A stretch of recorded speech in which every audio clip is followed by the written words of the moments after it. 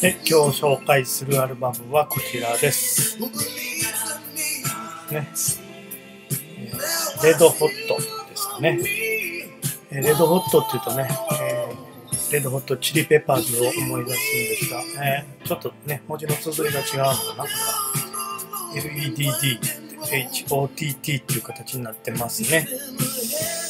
えーっとですね、これが82年のアルバムですかね。一応シカゴ出身のファンクバンドということで、えー唯一のアルバムということですね。1枚しか出てない。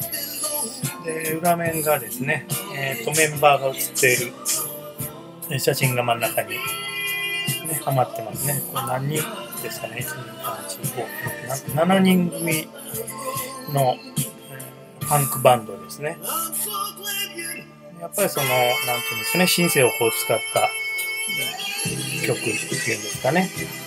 えーまあそういうので結構いい曲がたくさん入って、えーね、ファンクナンバーとこのバラードっていうんですかね。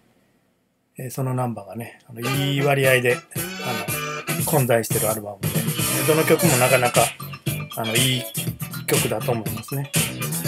でこれジョージ・カーがプロデューサーとして、まあ、迎えられてできたアルバムということです。ね、なかなかノリのいい、いいですね。シンセベースなんかこうグリブで入ってる感じのいい曲がありますね。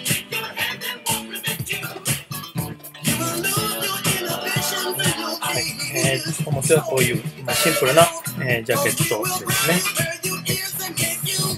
またあの気になる方は、えー調べて、えーそれぞれの、ね、曲なども聴いていただければいいかなと思います。はい、それでは続けてまたアルバム紹介していきますのでよろしくお願いします。